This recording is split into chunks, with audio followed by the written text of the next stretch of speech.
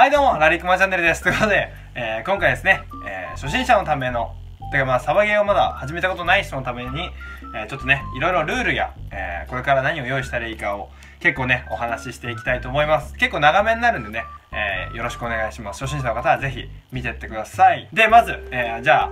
本題に行きます。まず一つ、えー、初めに、えー、サバゲーを始めるにあたってってことで、で、まずですね、近くのサバゲー場の情報を、えー、調べてもらいます。まあ自分のあれで言うと、ストーンピット高崎、一番近いんで、そこの情報を調べます。まずインターネットでね、調べて、そうするといろいろルールや時間、うんと、いついつにやってますとか、あとは何時から入れます。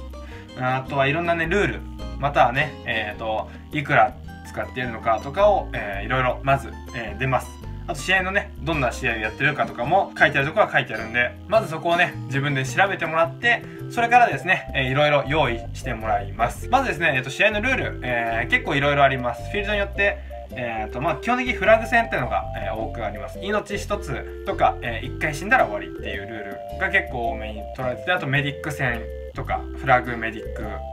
あとはね殲滅戦とか、えー、全員敵が死ぬまであやられるまで、えー、ずっと続けるみたいな形。あと攻防戦。攻めと、守りに分かれて、えー、戦い続けるという形のやつとかもあります。まあ詳しくはね、えそこのフィールドによって、え毎回試合のルールが、え放送されたりします。まあルール放送されなかったらね近くの人に聞くのも、えありだと思うんで聞いてみてください。で、えー、と次レンタル銃など、まあ、初心者の方はねまず、えこんなにねいっぱい持ってないと思うんで、あと自分に合った銃とかね、わかんないと思うんで、そういう場合は、えー、何でもいいと思うんで、レンタル銃、えー、基本的に置いてあると思います。ストーンピット高崎にも何本かあります。なんでね、初心者の方とかは、えー、レンタル、銃をレンタルしてもらうと、えー、すごくね、もう何も用意しなくても手ぶらでいけるんでね、お財布持っていけばいけるんで、すごくね、いいと思います。で、次にですね、えっ、と、まず、貸し切りと,、えーと、定例会っていうのが2つあります、えー、まず定例会っていうのが、えーと、いろんな人が寄せ集まって全く知らない人たちが集まって、えーと、その人数でやるのが定例会。で次貸し切りっていうのはですね誰か主催の人がいてその人のグループやまたはね、えー、そこに人数が足りないから誰か入ってみたいなのを呼びかけで入った人たち。よく見てほしいのが定例会だったら初心者の方はいつでも入れます。あのー、基本的に予約などはいらない事前予約などいらない状態のものです。まああ必要なとこもあるんですけどもそれはねあの情報で書いてあります。ストンピットの場合は、えー、定例会参加する場合は予約不要の、えー、そのまま参加することができます。一人でも全然周りにねいろんな人が来るんで大丈夫です。って形です。なんでね、えーと、初心者の方はまず定例会に、えー、一度参加してみてください。で次これあれなんですけどもサバゲー始めるにあたって結構当たってどうやって判定してるんですかとかもあるんですけどもあのまず当たるとすごい痛いです。あの結構ねあのダメージを受けます。あの腕とかお前見せたよね。ここにねあの跡が残っちゃったりとか、えー、歯が欠けちゃう人だって言います。そういう場合もあるんですけどもそれを踏まえた上であの試合になりますんで気をつけてください。で、えー、服装ですね、えー、まず次に用意して用意した方がいい服装、えーサバゲー場によってはレンタル服装迷彩服は、えー、用意してあるとこもあります。で全くないとこは基本的にもうこういうパーカーとかジーパンパーカーとか汚れていい服装またはねジャージーでもいいんで全然服装に関しては有無は問いません。迷彩服で来いとか言ってるのがなかなかないと思うんで、えー、それがいいと思います。まあおすすめとしては暗めの色黒とか迷彩服ですね。あとは、うん、場所によってはグレーとかもなかなか見づらいかもしれないんで、緑系とか迷彩黒グレーとかはすごくいいんじゃないかなと思います。まあ、フィールドによって合わせるっていうのもあるありますけど、まあ、自分の着たい服着るのが一番いいと思います。はい。で、それを踏まえた上ですね。で、そこまで、あ、OK だな、服装も OK、試合のルールも調べた、えー、お金も OK で、レンタル銃があるから OK で、定例会も次やるから OK っていう人は、えー、と次、サバゲーのルールですね。これを知っておくと、えー、っと、多分役に立つんじゃないかなと思うんで、は、えー、説明したいと思います。まずですね、えー、これ結構ストーンピット高崎でのルールが説明します。で、えー、まず、ヒット判定についてです。えー、ヒット判定についてなんですけども、足の先から頭のてっぺんまで、えー、ヒットハン、ヒットになります。また長弾もヒットになります。なんで、えー、っと、こう、今、パソコンがあるんだけど、パソコンに当たって帰ってきた球もヒットです。自分でヒット死にましたって言って手を挙げて退場します。でえっ、ー、と足の先から頭のてっぺんまでっていうと結構感覚足の先とか分かんないですよね。地面にちょっとバウンドしたやつが当たってもヒットになるのかどうなのかとか結構いろいろあると思います。でそこで注意してほしいのがえっ、とヒットは基本的に自己申告になります。ヒットっていうとまあゲームが始まってスタートして打たれた時はあ当たりました。ヒットって言います。ヒットって言って、え、手を挙げてですねあと10例えば銃をこうやって持っていたとしたらマガジンを抜いて、えー、銃をもうこうやって出してね退場してくるとすごくね分かりやすいです。まだね手だけこうやって上げて出してくるのも分かりやすいと思います。まあマガジンは後で抜くんでもいいんですけどもまあフィードから出たら必ずマガジンをね抜いてください。でまあヒットって言って手を上げて出てきます。で次にですねえー、っと大事なことここで、えー、っと自己申告になってしまうんですよ。なんで例えばえーと、いろいろゾンビ行為って言われる行為。まあこの後説明しますけどそういう行為だったりあと当たっても気づかない人もいます。えーと、その当たっても気づいてない人。例えば敵でああいつめちゃくちゃ当た背中に当たってるけどっていうのが多分あると思います。背中にめっちゃ当たってたりとかしてても気づいてない人とかもいるんでそういう場合はあの人ゾンビだなって言うんじゃなくてもっと気づきやすいところを狙ってあげる。もうここら辺ですね。ここら辺だったりとか皮膚が出てる部分を狙ってあげたりとかすると気づいて手を挙げると思います。それでもなってない場合はゾンビになります。であと味方にですね例えばこう隣で自分と俺と誰かがいて、えー、と長弾でですね長弾か何かでその人の背中に弾が当たってるのが見えました。ああの人当たったなって思って味方にでヒットって言ってないから味方その味方にえっ、ー、と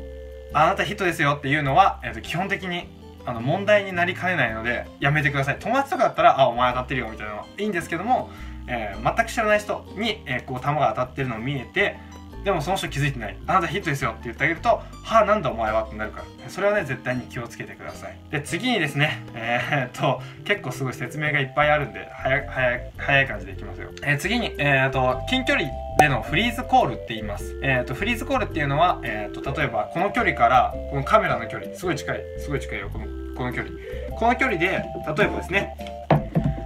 えー、このガスハンドガン、ハイキャパなんですけども、ハイキャパはこう、こうやってバーンって打ったらすごい痛いでしょ。もう青沢どころかあともすごい残るしみたいな感じになるんでそういう場合は、えーと、肩を叩いて「あなたヒットですよ」とか海外ではバーンって大声で言って言ってあげるっていうのもあります。それがフリーズコールになります。でフリーズコールは、えーと、基本的に禁止の場所もあります。ストンピットでは基本的には禁止です、えー、そういう場合は痛くないところでも気づき気づくところ。例えば腰のねマガジン入ってるところとかお尻とかを打ってあげるのが、えー、基本的なルールになる、えー、フリーズコールについては、えーと、ネットでその自分のサバゲージを調べて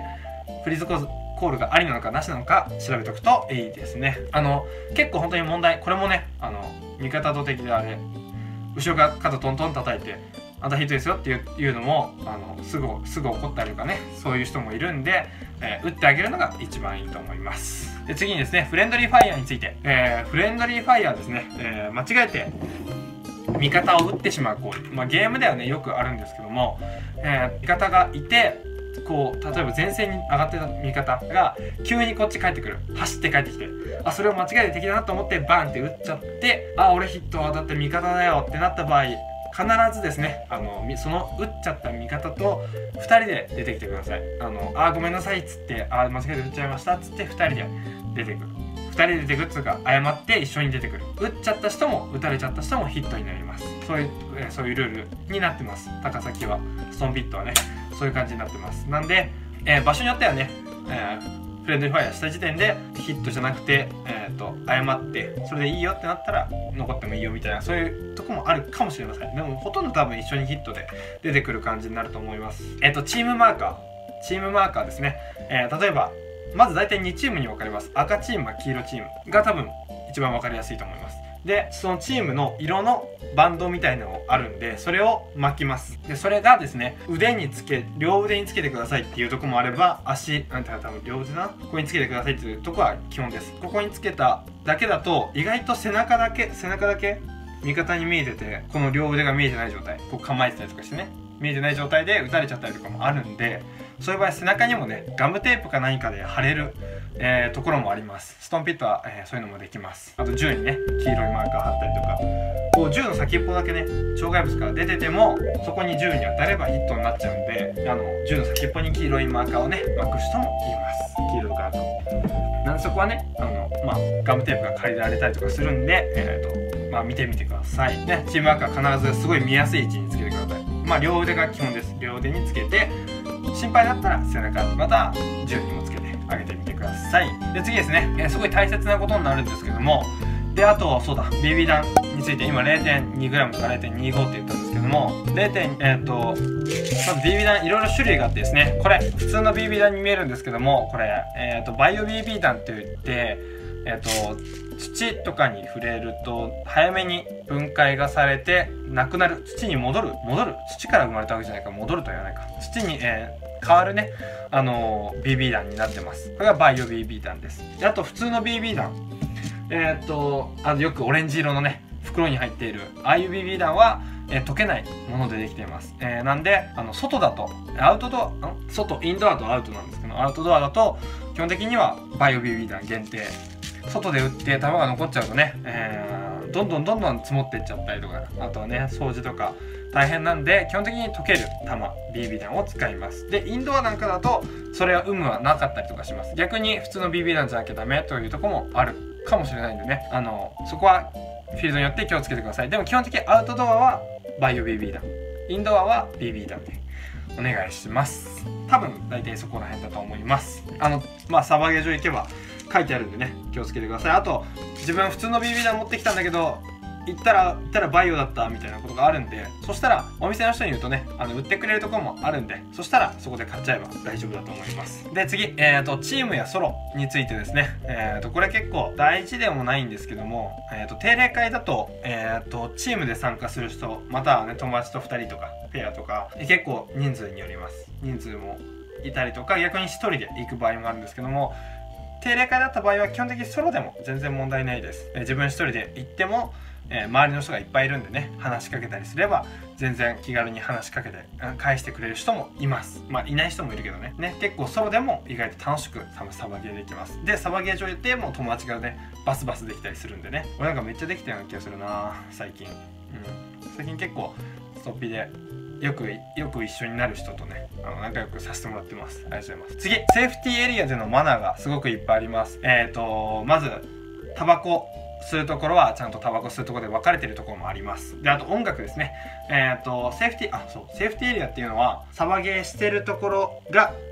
フィールド。そこの外にあるところ待合室みたいなもんですね。病院とかでいうと、えー、電車でいう待合室みたいなところが、えーと、セーフティーエリアになります。そこでは皆さんゴーグル外してえ、銃を置いてゆっくりしてるとこです。そこでそれがセーフティーエリアですね。でそこのセーフティーエリアでのマナーがすごくいっぱいあります、えー、まずそのタバコだったり、えー、騒音。あのすごいね。この前いたスピーカー？スピーカー持ってきて自分の好きな音楽ガンガンでめっちゃでかく出してる人とかもいてそういうのはね本当電車のマナーみたいな感じだけどあの嫌な人がすごくいっぱいいるんでね。必ずそういうのはやめてください。そういうのは絶対禁止です。禁止っつうか周りの人のことを考えてもし音楽聴くんだったらイヤホンで聴いてください。という形です。であとは基本的にまあ電車マナーと一緒な感じであのできるんでね。そこら辺はよろしくお願いします。ですごくね大切なのがこちら。えー、と銃ですね、えー、とこれまあガスなんですけども、えー、基本的にセーフティーエリアでは基本的にセーフティーエリアでは、えー、とセーフティーにかけといてください。今ねセーフティーにかかってるんだけどここがセーフティーね。かけといてください。で必ずマガジンは抜いておきましょう。あのマガジンが刺さってると,、えー、と弾がもし出ちゃった時にねみんなゴーグル外しててゆっくりしてるからそこに弾が出たやつが当たったりとかしたら大問題なんでセーフティー。マガジンを抜くはお願いします。であと場所によってっていうか多分どこもそうだと思うんだけどストンピットでは基本的に空打ちが禁止になっております。電動ガンなんかだと引き金引いたらマガジン抜いた状態で引き金引くとタタタタって音が出るでしょ。あれが基本的にセーフティーエリアでは禁止です。えっ、とよくねちっちゃいことがやりがちなんですけども必ずマガジン抜いてセーフティーエリアでセーフティーかけたらもう銃はスタンドに置いていじらない。いじらない。それが大事です。もしいじるんだったらサイトつけるとかそういうだけの行為だけで基本的にトリガーを引く行為またはね発砲。発砲なんかは基本的に禁止なんです。禁止です絶対。それは。それは絶対に守ってください。あんまりにも守ってないとフィールドの方からあの管理人さんからねあの出てってくださいと。退場お願いしますと言われます。最初は注意でいいと思うんですけどだんだんねダメですってなるんで必ずそこは気をつけてください。ね必ずセーフティーにはかけてください。で今俺ガス見せてたんですけど結構最近ガスの M4 を持ってる方多分多いと思います。これ結構大事なんですけどもハンマーを倒さないとハンマーを倒さないとねあのセーフティーに入りません。なんで逆にねハンマーを引いといてある状態なんでセーフティーから普通にしちゃうと打てちゃうんですよ。カチンって言うんだけどそう。そうなっちゃうそうなっちゃうから逆にセーフティーじゃなくていいんじゃないみたいな感じになるんですけどもガスの人は必ず1回チャージングハンドルを引いてハンマーをねこれこれを引いてセーフティーにかけてください。ガスガスの人は必ずセーフティーに入るような状態に置いといてください。でハンドガンなんかをねあのハンドガンはマガジン抜いて多分フィールドだとマガジン入ってる状態になるんでマガジンを抜いてもらって弾ないかここに弾が詰まったりとかしてないか確認してセーフティーをかけてこれセーフティーなんだけどセーフティーをかけて置いておく。またはねこの場合はハンマー倒しといてもらって置いといてもいいです。ハンドガンはそんなに確か言われなかったんでまあ一応マガジンを抜いたら必ずねセーフティー。電動ガンは電動ハンドガンはセーフティーかけておいてください。撃てちゃうから空打ちできちゃうから。ガスとかはいいかもしれません。このままでもいいところもあるかもしれませんまあ心配な方はハンマーを起こしてセーフティーかけといてもいいと思います。って形です。結構ねあのーフィールドで打っちゃう方はすごい多いんであのそれだけは絶対に気をつけてください。あのセーフティー内で打つと必ず被害者が出ますから。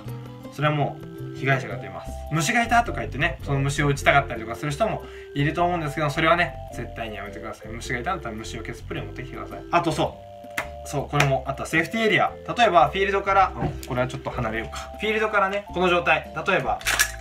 これでサバゲーします。ダダダダダダと打ちます。であヒットっつって出てくる時にマガジンを抜いてチャージングハンドルを引いて弾がないか確認してセーフティーにかけてトリガーに指かけないで出てきてください。今すごい流れで言ったけど必ずこの状態。まあよくやりがちなハンドガンなんだけどそう。M4 とかうんとこういう長物ですね。長いもの。はこうやって戦った後に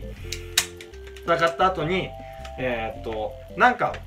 タイヤのねあるところとか空打ちを1回します。弾がん？ガスだけのやつ。例えばこれガスだけのやつで入れて中にある弾をね出しちゃうために、えー、空打ちをします。ダダダと。電動ガンだったらこのまま打っちゃって大丈夫です。打ってもらってでセーフティーをかける。ガスだったら1回ハンマー引いて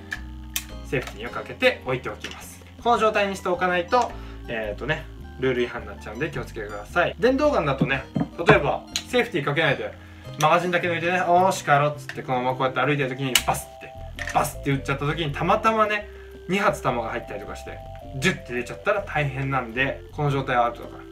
指かけておくとかアウトだから。紹介でもすごい言われるから。指かけてお前何してんだって言われるから。どこでも一緒。ゴーグルかけてない人たちがいっぱいいる中ででのトリガーに指かけるのはダメです。ダメ。ダメ絶対。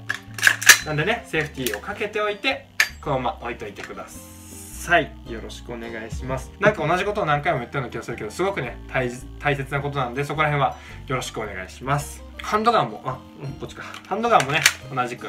ハンドガンは結構ホルスターに入れとくとねあのマガジン入れたいことを忘れづらい忘れやすいんで試合始まる前にもしマガジンを入れたんであったら必ず抜くことをね意識してあのやってみてください。であの場所によってなんですけども室内線だと,、えーと、フラッシュライトやレーザーサイトは、えー、OK なとこがあります。そこはね、えー、ちゃんと見てもらっていいんですけども、えーと、アウ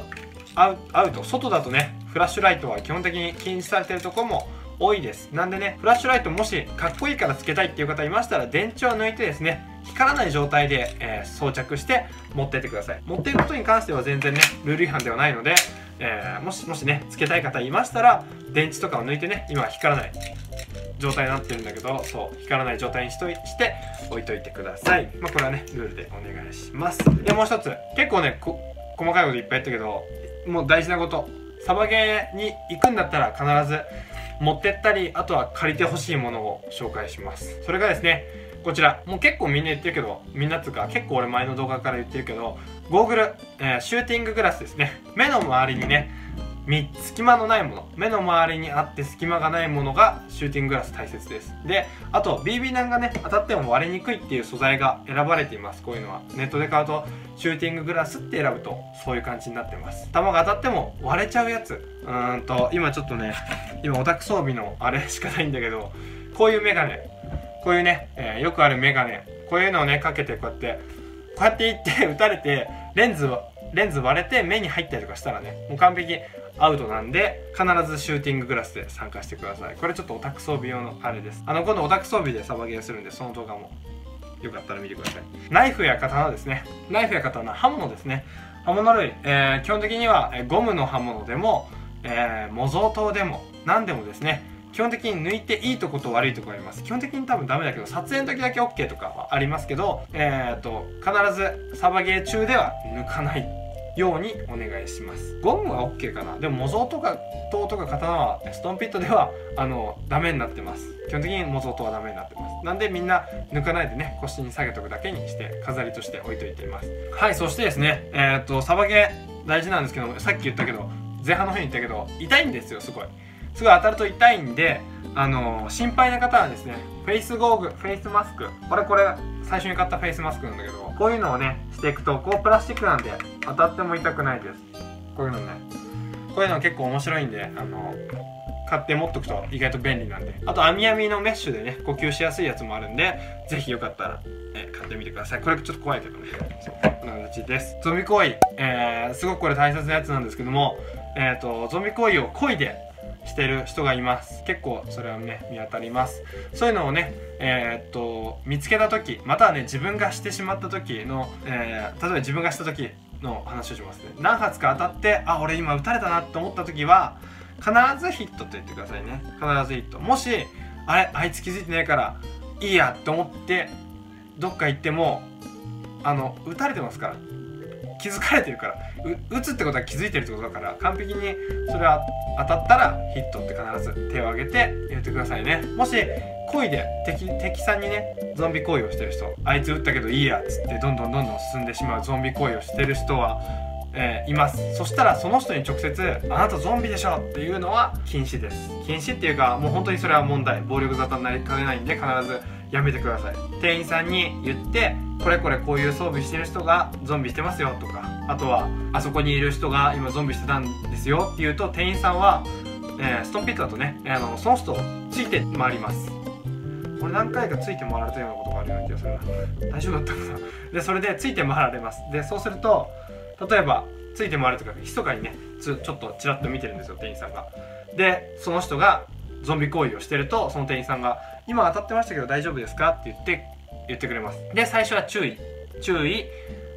注意してもう一回注意。で3回目は、えーと、フィールドにフィールドにっていうよりかもサバゲー自体今日は帰ってもらっていいですかって言われるんでゾンビ行為は禁止です。注意注意だから2回注意されたらいいやとかじゃなくて、えー、必ずねゾンビ行為は禁止になります。例えばもう今まで来てずっと来ててゾンビ行為何回もしてる人だったらもう入った時点でもう出入り禁止ですよ出禁ですよってなっちゃう可能性もあるんでそこはね必ず気をつけてください。よろしくって形です。あのね本当に自分であいつゾンビだっつって言わないように。またセーフティーエリアであいつゾンビだよっていうちょっと言いがちなんだけど俺もよく言ってたんだけど昔。あの必ずやめた方がいいですマジで。マジで結構危ないんですよ。例えば動画撮ってる。俺なんか動画撮ってるからゾンビしてる人なんかってよく見れるんですけど前ねあの動画撮ってて店員さんにこういう人ゾンビしてるんですよってセーフティーですごい大騒ぎしたことがあって